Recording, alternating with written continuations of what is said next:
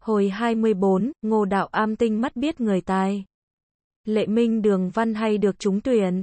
Dịch giả, Nguyễn Đỗ Mục, nguồn, nhà xuất bản văn hóa thông tin. Ngô Đạo Am hỏi Khương Nhược Sơn. Chẳng hay lão huynh đi buôn chuyến này có phát tài không? Khương Nhược Sơn đáp, buôn bán là nghề chuyên môn của tôi mà. Vì vậy đã đi buôn tất nhiên phải phát tài. Ngô Đạo Am hỏi, nghe nói lão huynh vừa mới nhận một nghĩa tử mà người ấy là một danh sĩ. Chẳng hay tài học của người ấy thế nào? Khương Nhược Sơn đáp, cứ theo con mắt tinh đời của tôi. Tôi đoán chắc nghĩa tử tôi là hạng thông minh xuất chúng. Nhưng còn tài học thì thật ra tôi không biết nổi. Mong tiên sinh hãy thử xem mới rõ được. Ngô Đạo Am nói, con mắt của lão huynh châu báu xem không lầm thì đời nào lại không thấy rõ kẻ chân tài. Khương Nhược Sơn nói, chỉ vì chữ nghĩa tôi quá kém cỏi nên phải cậy tiên sinh thử sức hắn. Ngô Đạo Am nói, đã là nghĩa tử của lão huynh tức là nghĩa điệp của tôi rồi. Để tôi ra đó thăm người một chút mới được. Nói xong cả hai đều dắt nhau ra huê viên. Lệ Minh Đường vừa thoáng thấy vội chạy ra nghinh tiếp. Khương Nhược Sơn đưa tay chỉ Lệ Minh Đường giới thiệu cùng Ngô Đạo Am. Đây là nghĩa tử của tôi đó. Nói xong truyền ra nhơn dọn tiệc lên. Ba người cùng nhau ngồi uống rượu.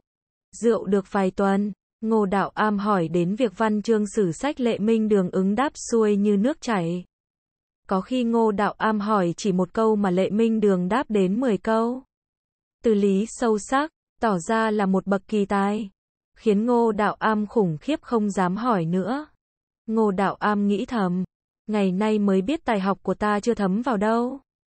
Chẳng khác nào cầm sao dò biển, khó mà dò đặng chỗ sâu, chỗ cạn. Lệ Minh Đường thấy Ngô Đạo Am tuy ít học nhưng ông ta giỏi về thuốc. Nên hỏi qua mạch lý thì ông ta giảng giải rất thông suốt. Sau đó, ba người uống rượu trò chuyện mãi đến chiều mới ta cuộc. Khi Ngô Đạo Am đi khỏi rồi, Khương Nhược Sơn nói với Lệ Minh Đường, Ngô Tiên Xanh chính là bậc lão thành có tiếng là một nhà học rộng. Nếu trên vấn đề văn chương có chỗ nào con chưa thông suốt hãy hỏi người. Người sẽ chỉ cho.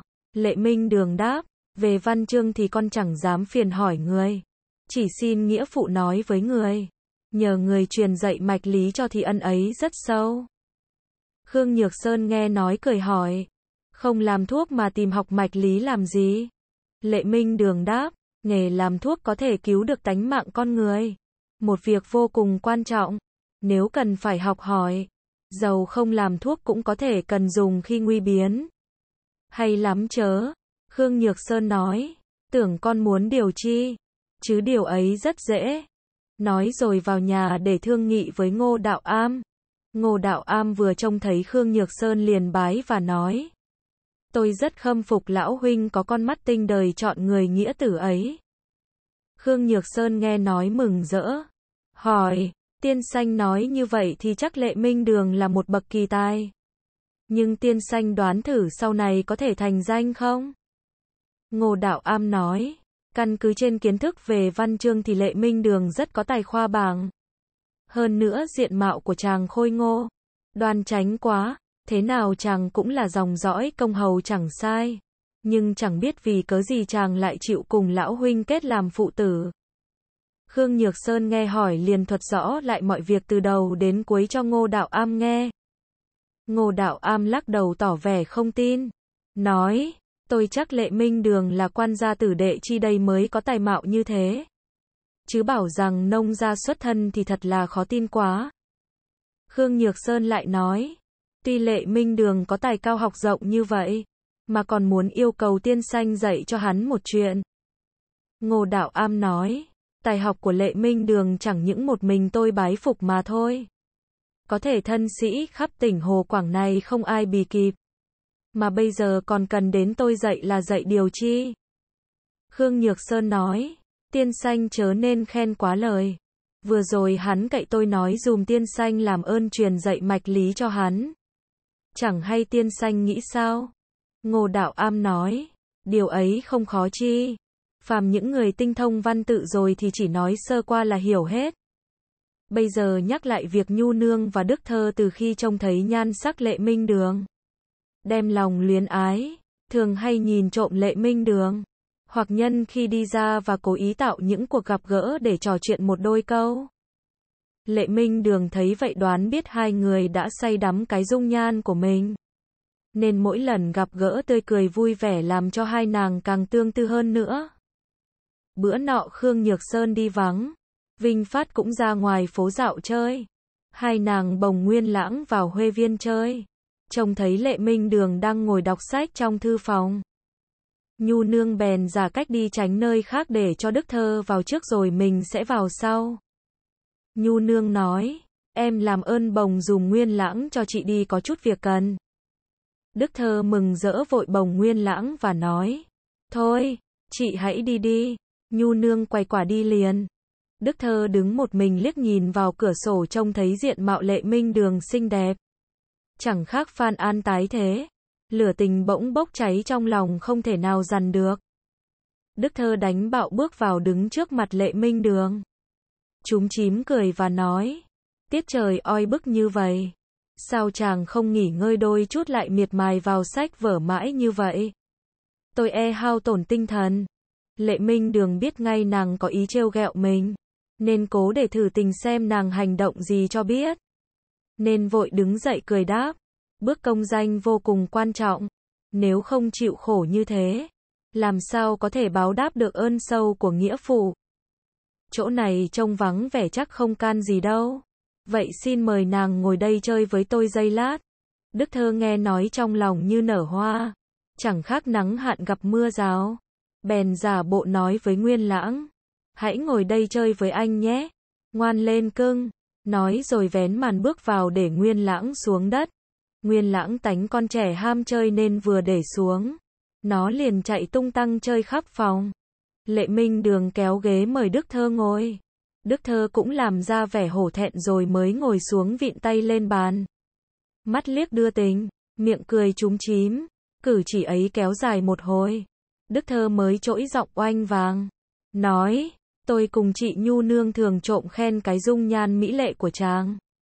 Chắc chàng đang độ xuân xanh chưa có vợ con gì. Lắm lúc cũng cảm thấy buồn chớ. Tôi không hiểu tại sao chủ nhân đây lại không nghĩ đến việc ấy. Để cho chàng ngày đêm hưu quạnh thật là tội nghiệp.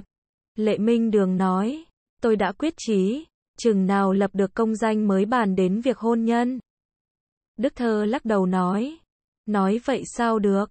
Tuy công danh là việc quan trọng nhưng khách phong lưu bao giờ cũng là kẻ đa tình. Há chàng lại không nhớ chuyện ông Lý Tịnh đời đường cùng Hồng Phất Nữ. Đôi bên chỉ gian díu với nhau vì một chữ tình mà sau cả hai đều được thành tiên cả sao? Theo tôi, nếu suy nghĩ cho cùng, không phải là một điều phạm đến phong hóa.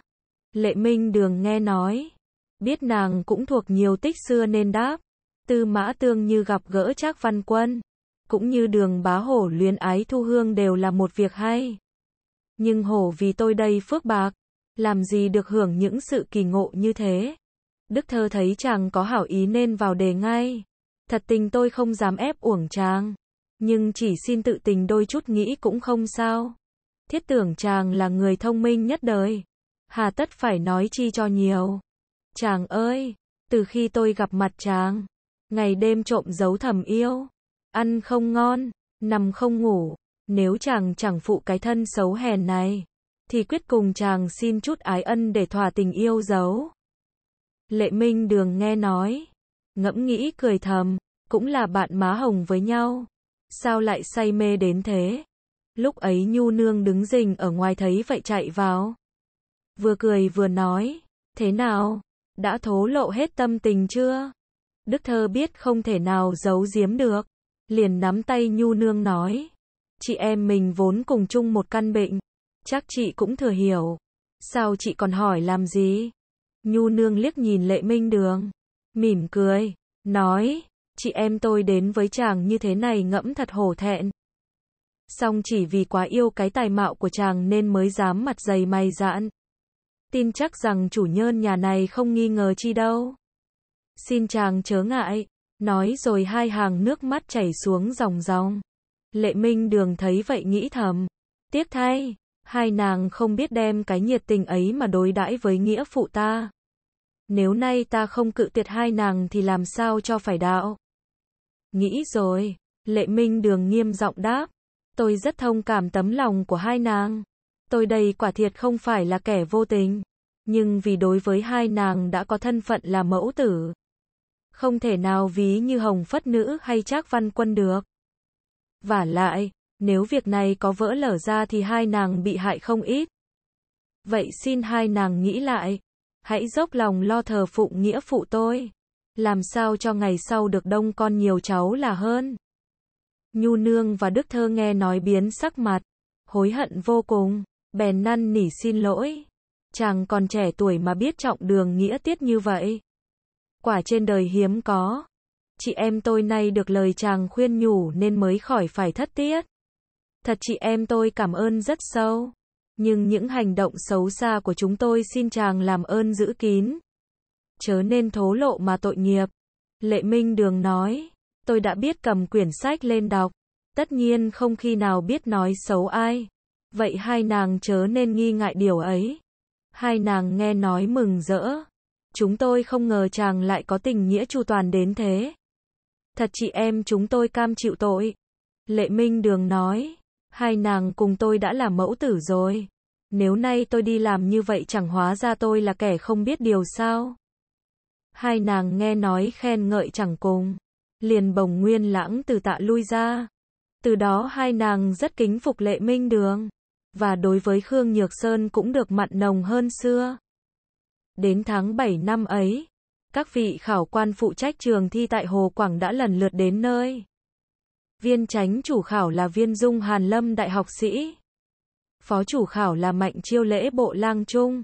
Khi khảo quan vừa đến trường thi, các quan địa phương đều ra tiếp rước trọng thể. Ngô đạo am vốn đã đậu tú tài nên đã có tên thi. Chỉ có một mình lệ minh đường phải trông mong vào tên gia nhơn đến kinh. Để quyên giám mới được vào trường.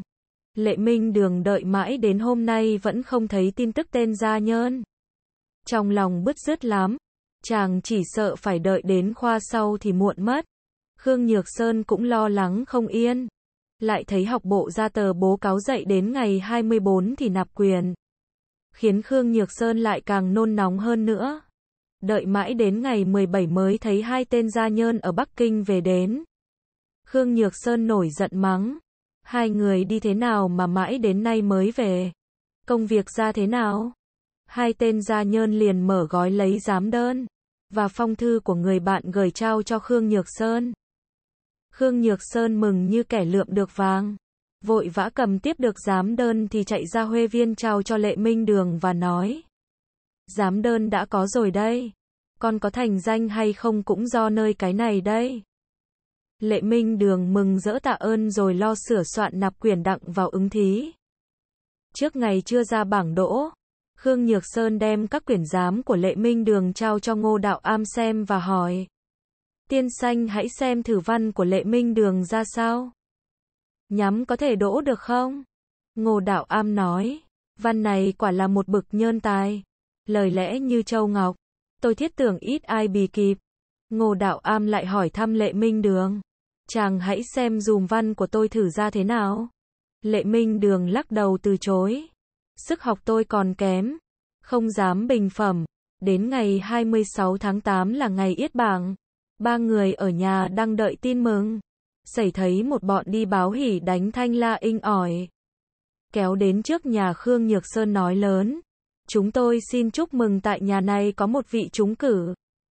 Ngô Đạo Am và Khương Nhược Sơn vội hỏi. Lệ Quân Ngọc đỗ thứ mấy? Bọn ấy đáp. Chúng tôi không hiểu Lệ Quân Ngọc.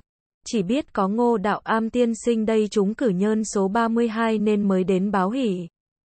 Khương Nhược Sơn hỏi. Các người không biết Lệ Quân Ngọc sao? Đúng, thiệt tình chúng tôi không biết. Khương Nhược Sơn nghe nói biết là Lệ Quân Ngọc rớt rồi. Bèn lấy tiền thưởng cho bọn báo hỉ. Ngô Đạo Am nói với Lệ Minh Đường. Văn của chàng như thế mà đánh hỏng. Trái lại văn của tôi như thế mà đậu. Quả khảo quan không có mát Vậy chàng cũng không nên thối chí ngã lòng. dáng đợi khoa sau sẽ giật khôi nguyên. Lệ Minh Đường đỏ mặt đáp. Văn bài của tôi xét cũng có nhiều chỗ bất thông. Không đỗ được cũng là phải đó.